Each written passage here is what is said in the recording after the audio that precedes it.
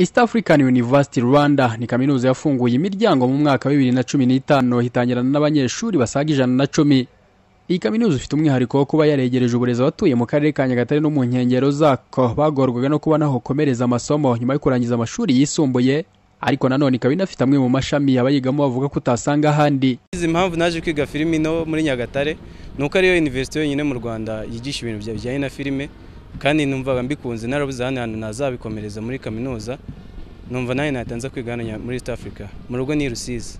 Iyi kaminuza yacu yaje nk'igisubizo kuko byaradufashije nk'abantu dutuye nyagatare nta yindi kaminuza iri private twari dufite byaratugoraga rero kuba bavuga ngo ugiye kwiga kure. Kaminuza yabaga iri hafi n'iza kigali yaje nk'igisubizo kandi iratworohereza mu myishyurire yacu. Umujyi wa nyagatare ni umwe mu mijyi itandatu yatoranyijwe kuzunganira umujyi wa kigali.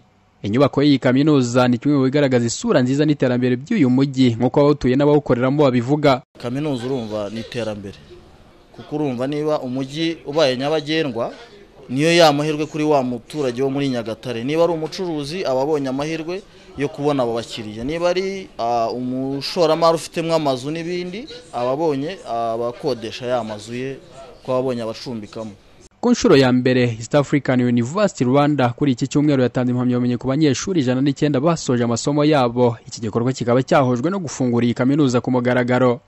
Umunyamabanga uhoraho muri minisiteri y'uburezi murindwa Samuel avuga ko za kaminuza zikwiye gutanga ubumenyi bufasha abanyeshuri kwishakamo ibisubizo aho gutekereza ko ibyo bisubizo byose bigomba kuva kuri leta. Za kaminuza icyo tuzikangurira ni uko batanga ubumenyi buha abantu ubushobozi kuba bishakamo ibisubizo be gutegereza ibisubizo byose kuva kuri leta.